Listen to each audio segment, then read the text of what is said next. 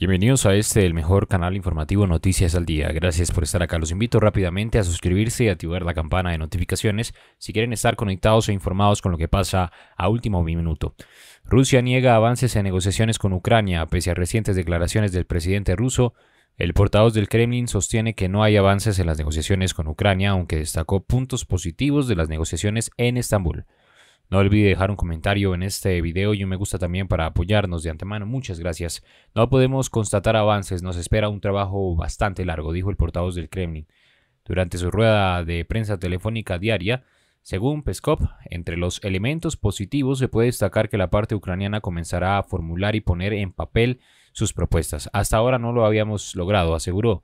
El jefe de la delegación rusa, Vladimir Medinsky aludió ayer por primera vez a la posibilidad de un tratado entre Moscú y Kiev después de unas negociaciones que describió como constructivas. El propio presidente ruso Vladimir Putin reconoció la víspera avances en las negociaciones con Ucrania en una conversación telefónica con su homólogo francés Emmanuel Macron.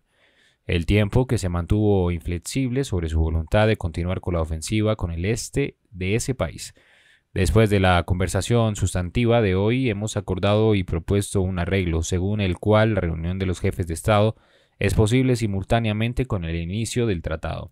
Dijo tras la reunión Medinsky en referencia a la posibilidad de un encuentro entre Putin y su homólogo ucraniano Volodymyr Zelensky. El jefe negociador ruso indicó que las propuestas ucranianas incluyen la renuncia de Kyiv a su propósito de ingresar en la OTAN, y el compromiso de Ucrania de neutralidad permanente de ser un país libre de armas nucleares y no emplazar ningún tipo de armas de destrucción masiva ni tampoco tropas extranjeras. ¿Qué opinan de esta información? Nuevamente los invito a suscribirse y activar la campana de notificaciones. No olvide comentar y dejar un me gusta. Gracias por estar acá. Noticias al día.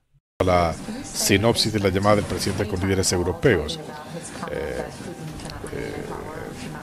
hablaron de sus comentarios sobre Putin y Putin en el poder, no hablaron de esto. Están increíblemente alineados y hablaron de algunos de los temas fundamentales en los que estamos concentrados, incluyendo aportar armas a Ucrania, eh, incrementar los costos de la inversión para Ucrania, apoyar la estabilización de mercados y las negociaciones diplomáticas.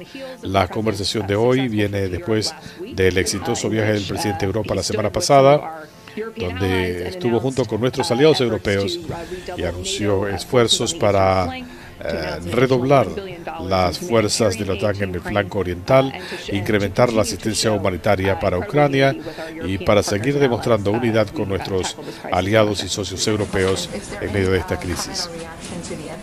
¿Algún comentario o reacción a la aprobación de una cuarta ronda de refuerzo? De la vacuna contra el COVID. Esto es algo positivo. Los CDC y la FDA están eh, autorizando ahora una cuarta dosis de refuerzos para gente de más de 50 años y con inmunodeficiencias. Esto es para asegurar que estas poblaciones puedan recibir sus vacunas. Y lo que debo decir es que si en algún momento se recomendara que la población total requiriera eh, esta cuarta ronda, eh, vamos a conseguir los fondos eh, para hacerlo. Pero tenemos los suministros y la gente dentro de la población, gente de 50 años o más, podrán ir a ponerse la vacuna.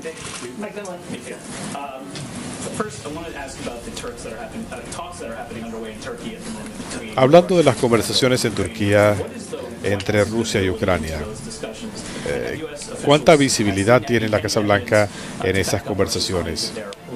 ¿Y hay alguna evidencia de que Rusia esté retirando fuerzas de Ucrania? Uh, Estamos en contacto estrecho con los ucranianos y apoyamos sus esfuerzos diplomáticos tratando de buscar un cese al fuego.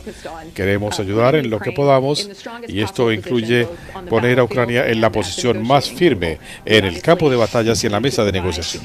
Obviamente, seguimos brindando asistencia de seguridad, brindando armamento para que puedan contrarrestar las agresiones de Rusia y seguimos aumentando la presión sobre Putin y Rusia eh, imponiendo costos severos.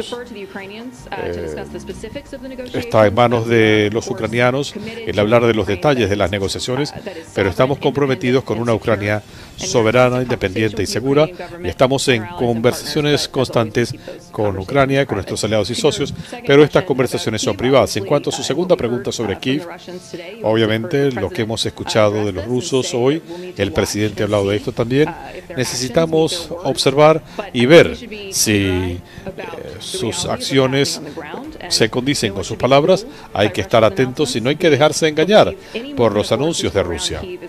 Eh, pensamos eh, que la movilización de fuerzas es una reubicación y no una retirada y hay que estar alertas, el mundo debe estar alertas. Pensamos que seguiremos viendo ataques en Ucrania.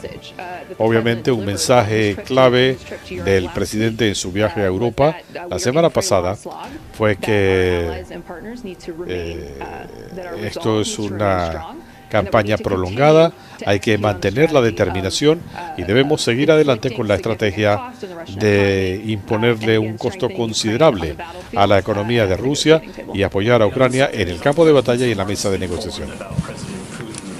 Y en cuanto a lo que dijo el presidente en Polonia sobre el presidente Putin, él trató de hacer una distinción entre su perspectiva personal eh, y la política oficial de Estados Unidos. Pero usted sabe muy bien que el candidato Joe Biden eh, dijo prácticamente todos los días en la campaña que las palabras del presidente cuentan, que pueden empujar al país a la guerra. Eh, él mismo lo dijo. Bueno, las palabras del presidente fueron muy poderosas. Habló de manera personal sobre el disgusto que comparte con gente de todo el mundo. Él no está haciendo un cambio de política ni está cambiando la política de Estados Unidos. Él se reunió con refugiados, muchos de ustedes estuvieron en el viaje y vieron de directamente eh, el dolor que está causándole Putin a gente que ha tenido que escapar de sus hogares y que ven a su país eh, en destrucción. Eh, esta no fue una redefinición de la política de Estados Unidos, sino una expresión de desagrado. El presidente se siente frustrado eh, que esas últimas palabras del discurso hayan opacado todo lo demás. Ciertamente no.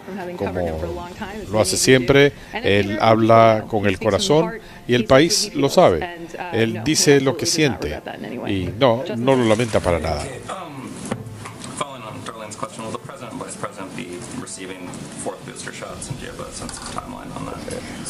Pregunta inaudible. Eh, el presidente tomará cualquier decisión sobre vacunación con su médico. Si el médico le recomienda ponerse un refuerzo, lo hará, pero lo hará en consulta con su médico. Voy a consultar sobre la vicepresidenta. En cuanto a los mercados de energía, se hablaba posiblemente de una extracción coordinada de petróleo de reservas estratégicas. Uh, Solo puedo decir que se habló de estabilizar los mercados de energía, la necesidad de mantener esa estabilidad. No tengo nada que adelantar sobre anuncios, pero en general puedo decir que obviamente el presidente Biden está muy concentrado en asegurar que minimicemos las fluctuaciones eh, en la gasolina y en la energía en general para las familias de Estados Unidos.